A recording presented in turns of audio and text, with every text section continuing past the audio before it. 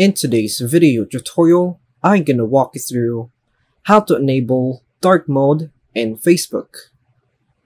First, ensure that you have the latest version of the Facebook app installed on your iOS device. Open the app. Tap on the menu icon represented by three horizontal lines in the bottom right corner of the screen. Scroll down the menu until you find Settings and Privacy and tap on it. In the expanded menu, tap on Settings. Under the Settings section, you will find Dark Mode, so tap on it. You will have three options, Off, On, or System. Off keeps the dark app in a default light mode. On forces dark mode to enable permanently. System follows the system-wide dark mode settings set on your iOS device. Select your preferred option by tapping on it.